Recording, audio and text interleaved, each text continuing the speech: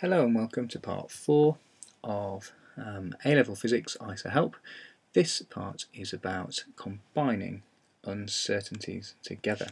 Now if you'd have been following the last episode in part 3 when we worked out percentage uncertainties, you will know how to calculate percentage uncertainty. So I'm not going to remind you of that just now. But let's assume that we've got a formula for calculating resistance, R equals V over I, and you know the percentage uncertainty in V and you know the percentage uncertainty in I.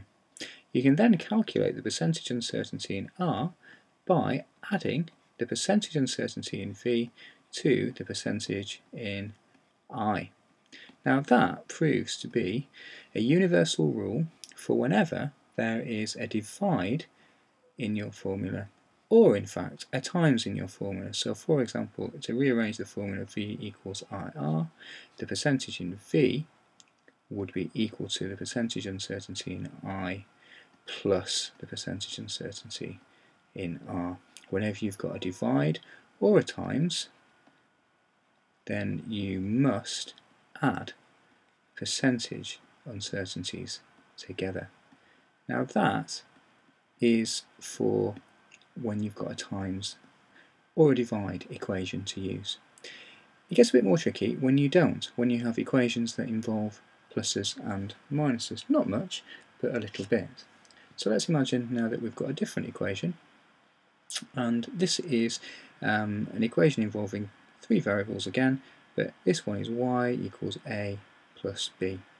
Now if you want to know the percentage uncertainty in y, instead of adding the percentage in a and B, it gets a bit more difficult. What you have to do is you have to add together the absolute uncertainties.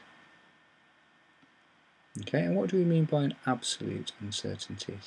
Well, an absolute uncertainty is what you would get if A was a measure of distance, for example, or length, and um, we knew that the measurement of A was 0.90 meters and we measured that with a ruler that was capable of measuring to the nearest um, centimeter.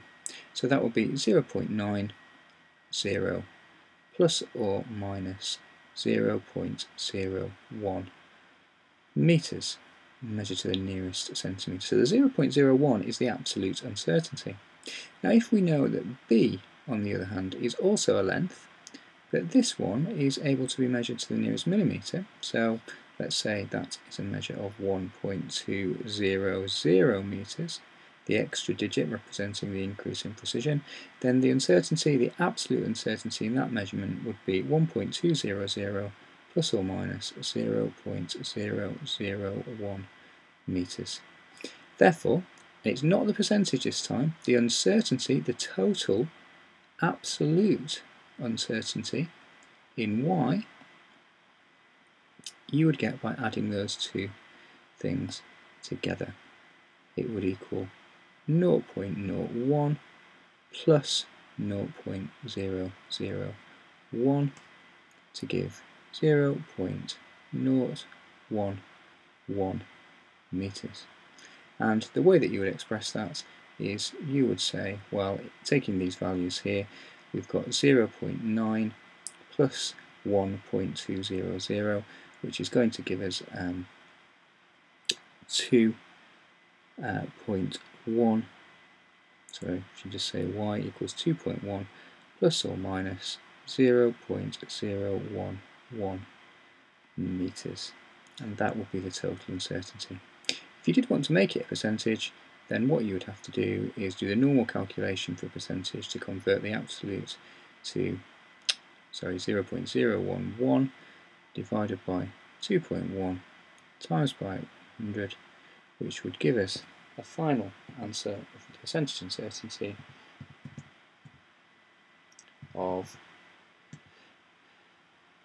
if I wait for the calculator for just a second it gives us 0.5%. Note that when we're quoting the percentage uncertainty again, we're working to one decimal place. Hope that's clear. Thank you very much for watching. Look out for the next episode.